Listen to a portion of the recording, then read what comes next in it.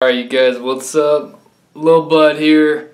I just went to the doctor. I had like a mole on my back that got like hurt when I was working out. So I was like, yo, I want that mole removed.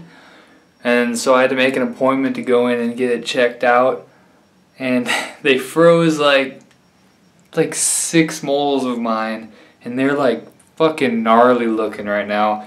So I want to show you day one. I just got back from the doctor's like five minutes ago.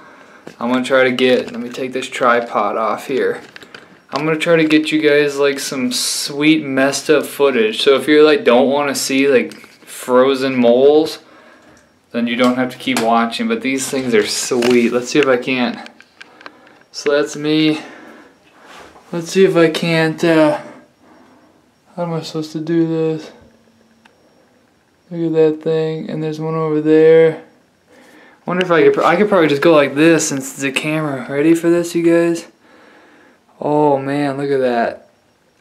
Okay, so let's count. Let's, uh, that's one. Okay, let's get this thing. Two. And three. Look at that shit. Four, five, six. I think there is just six. Go. I wonder, how do I get a better view of this shit? Look at that. That's fucking gnarly. Oh yeah, what do you guys think? Look at that back. Oh, those are gonna be sore as shit. Oh, whatever, you guys. You guys saw it. It's documented.